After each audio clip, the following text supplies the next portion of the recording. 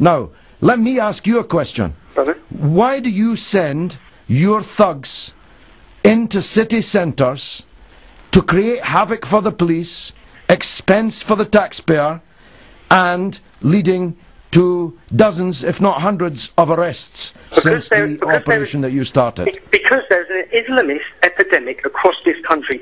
Even even even, even last week, there was a, a, a study throughout 12 universities, and a third of Muslims said that killing was justified in the name of Islam. 90%. It's an epidemic. We've Well, waited. let me stop you there, Tom. Go on.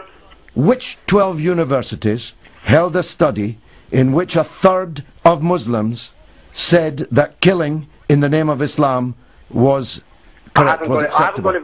I I looked it up. No, you don't have it because you're an ignorant wee. You're quoting a non-existent I'm not quoting a survey. non-existent. I'm, well, you're quoting a 28 survey on national radio. 28% of them. I can. I'll, I'll, I'll ring you back in a minute and find out. And get No, don't ring me back 20 in a minute. You've just made a completely false allegation about 12 universities.